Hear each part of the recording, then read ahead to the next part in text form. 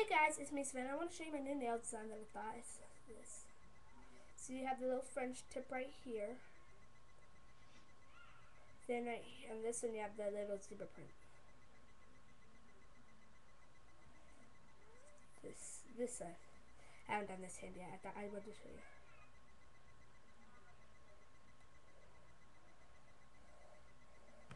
This is the colors I used. I used this little nail. It has a thin brush. It's a little jacked up. It's very old. Thin brush.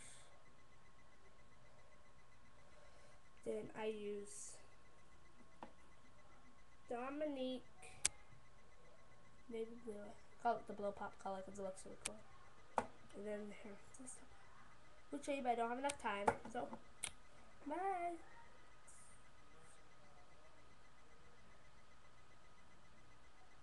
Oh, and on the, the zebra print, I did a little, I did a French tip on the top of that one.